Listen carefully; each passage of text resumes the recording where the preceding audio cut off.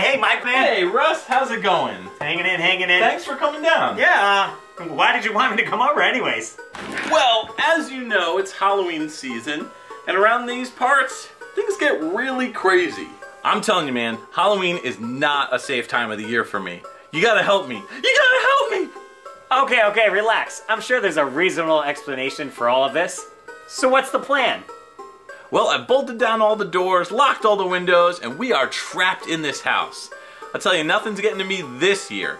And with another person here, I feel kind of safer. Well, if you say so. But how can we pass the time? Hmm, I don't know. Want to play Monster House on the Game Boy Advance?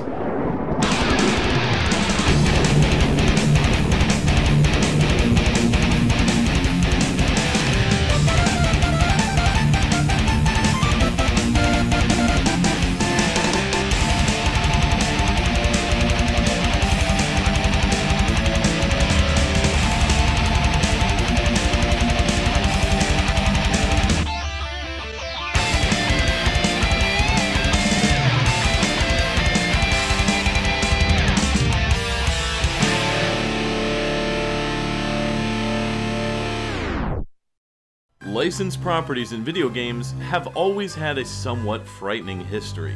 Sure, you'll have the occasional game that works well despite being based on a movie, cartoon, or comic book, but kids' animated movies tend to get lost in video game purgatory. But the Game Boy Advance had a slew of games based on existing intellectual properties that were not only kid friendly, but the games were actually really good. Monster House on the Game Boy Advance is the perfect example of this phenomenon. A loose adaptation of the CG animated movie of the same name, Monster House was developed by Artificial Mind and Movement in 2006. This port was a much different beast than the Big Brother version on the GameCube and PS2. Heck, even the DS version was a different game. So what makes this one worth owning over the others? And is it actually really any good?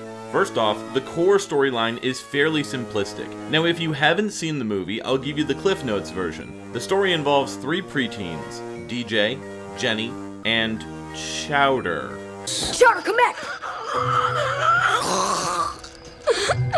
Yeah, he looks like a chowder. I knew a guy named Soup once. Good guy. They have to deal with a house that has eaten their toys for years, and the seemingly evil owner, Mr. Nebbercracker, who really doesn't like anyone getting anywhere near his house. However, fate eventually brings the trio together to face off against the house by entering it, in order to prevent the house from eating worse things, like people. The movie itself is well worth a watch, especially during the Halloween season, and the game is no different. This Game Boy Advance title starts off simple enough, with the three kids preparing to put the house to sleep by sending in sleepy time cough medicine as the bait. The house takes it, and the three get pulled into the house. Now the movie actually spends very little time inside the actual house, so the Game Boy Advance version spends pretty much all of its time locked away inside this spooky location. To be honest, this house feels more like a mansion than a regular sized home. The plan gets botched pretty quickly as the house ends up devouring the kids, making them lose their flashlights, the cold syrup, and their walkie-talkies. Thankfully, the cold syrup must have busted open during the craziness, with the house being put to sleep. They eventually find their walkie-talkies, and that's when you're introduced to Skull, whose role here is very different than in the movie. Skull is an older teenager who helps you through the mansion once you retrieve your walkie-talkies. In the movie, he's more of a one-off character who declines helping the kids in favor of playing arcade games instead. Skull keeps the kids in check and on point throughout the mission, mostly interacting with you when you enter a bathroom. Monster House plays like The Legend of Zelda and Resident Evil had a demonic, creepy baby. You're exploring the mansion in Resident Evil style, with bathrooms being safe rooms that auto-refill your water guns, and allowing you to save.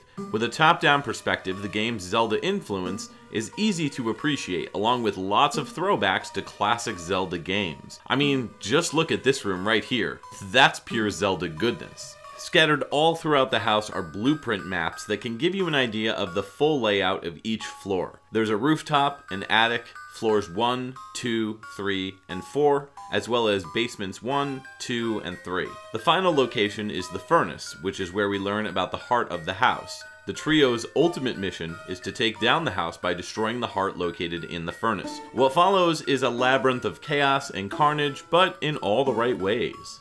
You enter the home with some bare essential weapons and items. Each kid has a water pistol just like in the movie, and their firepower matches their attributes as characters. DJ is the one with the most consistent spray attack, and his speed is average, whereas Chowder is the slow powerhouse and Jenny is the quick shooter and mover. When it comes to firing your weapons, holding down the B button is recommended to make use of a faster shot with Jenny and DJ, and a charge shot with Chowder. Your guns can be leveled up as you move throughout the house, and you can find upgrades that allow for further distance in shooting, as well as quicker recharge rates and stronger blasts. Trying to figure out which kid should be used where is part of what makes the combat so interesting here. While your characters have different methods of attack, they all can be utilized the same way regarding the combat travel mechanics. Holding down the R button allows your characters to strafe when shooting, as well as back up and move forward without breaking the location they are firing upon.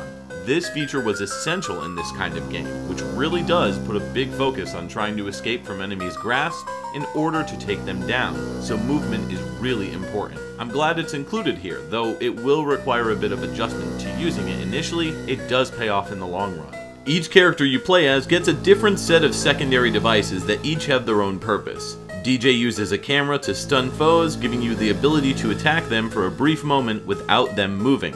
He also gets a brass key, which is used to open brass doors. I thought this was odd though. Shouldn't anybody be able to use that as a separate item? Jenny gets a slingshot like the one she used in the movie, allowing her to open certain doors. She also gets a trash can, which lets her pass by certain enemies undetected. Chowder gets water balloons to take down fireplaces that have hidden switches or paths, and a bottle of cough medicine, which allows you to cool down overheating heaters. And of course, these are all refillable items depending on item drops or pot smashes. Each kid also has different abilities, with DJ being able to climb high places, Chowder being able to push bookcases and heavier items, and Jenny can slink through small spaces and tunnels. This may put you in a tough spot though, as you won't be able to switch between the other kids with the L button until you get access to a room that you can let them all into. Most of your time in the house will be spent randomly exploring whatever doors will actually open for you. The greenish doors will open with the press of the R button, but be careful as sometimes the doors can end up being fake doors that will attack you. However, destroying them with your pistols will occasionally reveal entry points. Going into the map screen will also show you which doors are false and which lead to actual entrances, which is a really smart touch. Monster House keeps you on your toes at all times with both combat and puzzles. Most puzzles involve the characters moving statues or blocks in a specific pattern to unlock entrance into the next room, or to find hidden keys to lock doors. Busting open pots with your guns or by picking them up with the R button and throwing them Zelda style may also uncover keys, power-ups, or health. Your health bar is at the top of the screen, represented by small, reddish circles. If even one character loses all of these, it's game over, and the kids are thrown out of the house. But what's weird is that the dialogue here makes it seem like they're going back in willingly, despite the game just allowing you to pick up from where you last saved. It's just kind of an awkward and frustrating way to get a game over. You know, Russ, you're looking a little pale. Have you eaten? Not since this morning, since I had a bowl of Lucky Flakes. What in the holy hell are Lucky Flakes? Well, that's when you take all the bran out of Raisin Bran and mix it with the cereal pieces of Lucky Charms. What do you do with the marshmallows and the raisins? Well, you make Spooky Mix. What? I call it Spooky Mix. It's half raisins, half marshmallows. How is that spooky? Hey, don't you judge me, man. Okay, you're clearly losing it. You have strange taste, my friend. Here, have some of the meal that I prepared for you. It's brie with blueberries, raspberry puree, and butter slices. I know it's kind of a weird meal, but it is Halloween. I gotta go to the little girl's room. I'll be right back.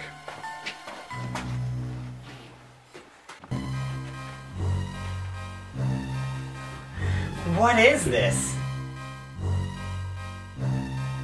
Expects me to eat this? I'm just gonna order Domino's.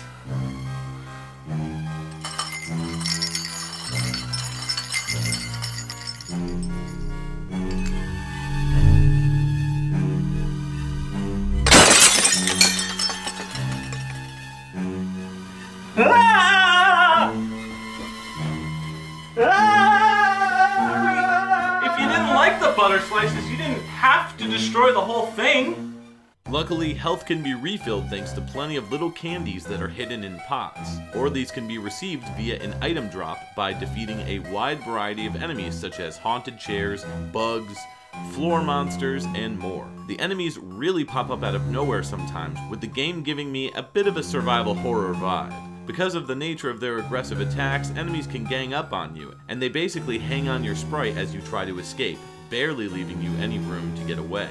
There's an interesting combat mechanic involving dashing, which will help create distance between you and the enemy, though you can't attack and dash at the same time, which is my biggest gripe about using Chowder specifically, as he tends to take forever to escape the clutches of the enemies. In order to enable the dash, you have to double tap the direction you're pointed in. I kinda wish they'd map the dash to an actual button to make it easier to press. I almost exclusively use Jenny and DJ due to them being faster to move, and with firepower that's not as strong, but much quicker. Though I will admit when Chowder gets his ultimate upgrades, he's much more manageable. Along with the health pickups, water can be refilled either in the bathrooms or by picking up item drops for the water, and water tanks can be found in treasure chests, allowing you to refill if you can't make it back to a save room. Now initially you'll find yourself dying quite a bit as your health is pretty low, but grabbing the super peppermint candies give each character an extra health bubble, no matter who grabs the power up. While I felt that the difficulty was high, it felt fair, and when I died I knew it was my fault with a few rare exceptions, like this spot, where I got caught in the basement sewers while an enemy was attacking me, preventing me from getting back to land.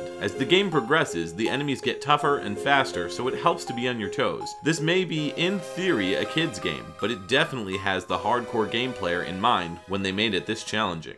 Hey Russ, what you doing? Ah, I was just looking at your Metroid painting here. Really cool stuff. Thanks, you know, Square Painter does some really amazing work. The accuracy is like downright spooky. Wow, you weren't kidding. There's a big focus on encounter-based combat that requires the player to memorize the layout of the rooms, and remember different parts of the locations. In addition to the staircases spread throughout the house that leads between the floors, there's also an elevator that can eventually be activated, making your journey between floors much more manageable. However, the developers never put any kind of indicator on the elevator room on each floor, leaving players to guess where they think the elevator is and making them go on a wild goose chase to figure out how to access it. Putting an E on the room on the map the same way they signified the save rooms with an S would have made this a much more pleasurable experience when it came to traveling. Speaking of save rooms, one of the reasons why I feel that this game is really Resident Evil is because of those damn save rooms. They got particularly stingy with them, which made balancing when and who to fight a more difficult decision. If you do happen to run out of ammo on your guns, you can use a stunted shot, which puts out at a much slower rate, allowing you to not be completely helpless.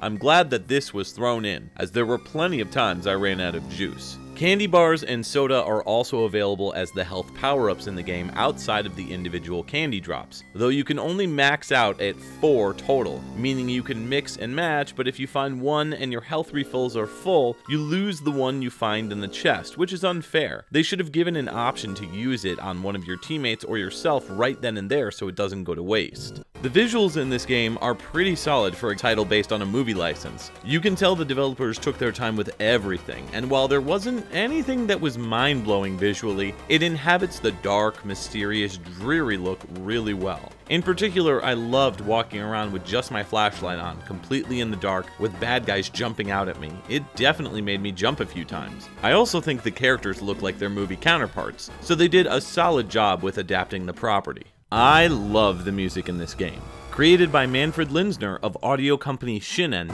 the game's sound is surprisingly clear for a Game Boy Advance title, with haunting yet simplistic piano tracks that sound right out of a horror movie. And tracks will start and stop on a dime depending on which floor you enter, which can help with the memorization of the layout between floors. Violin strings are piercing, percussion is grindy, and horns blare out into the night.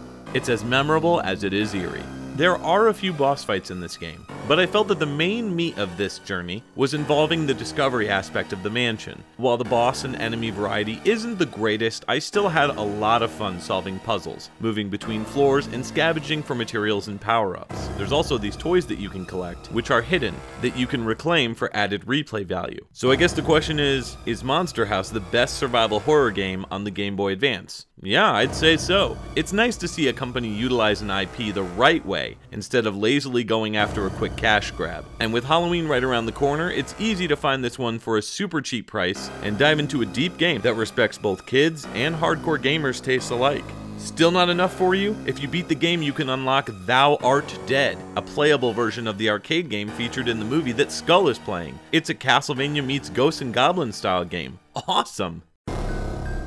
What's wrong, Russ? You seem off tonight. Everything okay? Dude, I hate to say it, but I think our house is haunted, man. You think so? Totally. I mean, there's clearly no such things as ghosts. There's gotta be someone else doing this. I think I know. Yoo-hoo! Well, you didn't review a Castlevania game this year. How am I supposed to make an appearance without you reviewing a Belmont-based adventure? You know, he's got a good point. Oh, Domino's is here. Sweet. Perfect. Fresh meat. No, no, no!